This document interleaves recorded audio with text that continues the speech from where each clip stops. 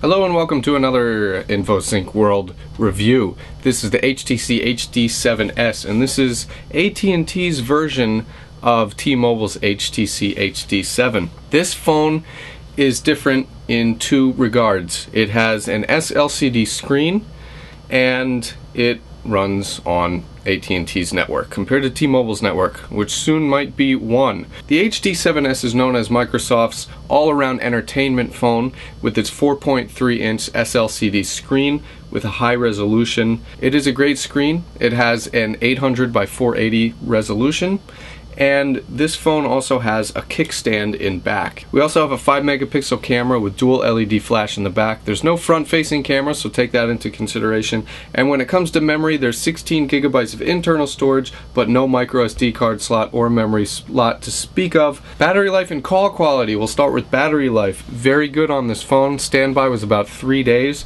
and uh, when we were kind of using this phone to its max potential it lasted about a full day on a, on a full charge. Now when it came to call quality, we used AT&T's 3G network. Good call quality, never a dropped call, decent sound quality, um, but you know, occasionally the slight background white noise hissing. So overall, AT&T, you'll be fine. There's also no HDMI terminal on this phone.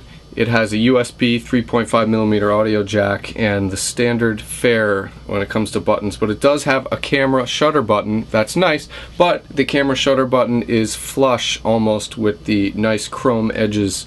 And um, it's almost too flush because we had a hell of a time trying to take pictures with this phone. While we're talking about the camera, let's talk about something else.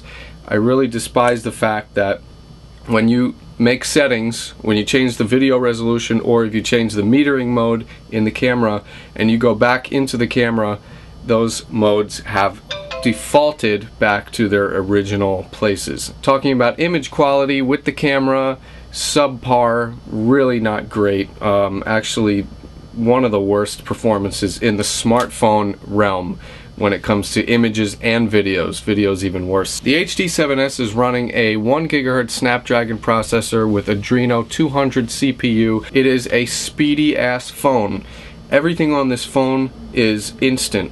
The refinement, the sensitivity of the screen, um, we never had any lagging. So now let's get a taste of Windows Phone 7 OS and uh, I'm going to walk you through that right now. Alrighty, here's the HTC HD7S, and if you've seen one Windows Phone 7 device, you've seen them all.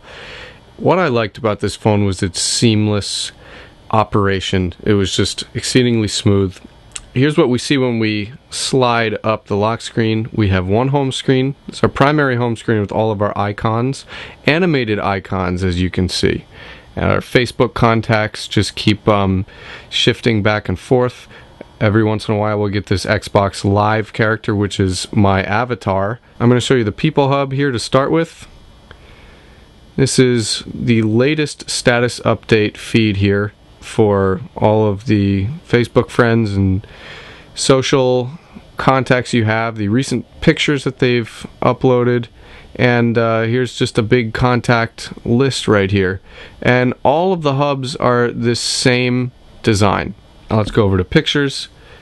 I like pictures because you can pull pictures from everywhere.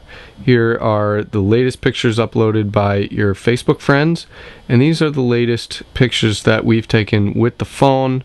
However, you can also view all of your pictures, and these combine my Facebook pictures, any other um, social networking site I happen to be logged into. Let's go to the Xbox Live Store, and this is where we can get games and uh, Sonic on here, Doodle Jump, and this is my gaming avatar that I've made, tracks my progress.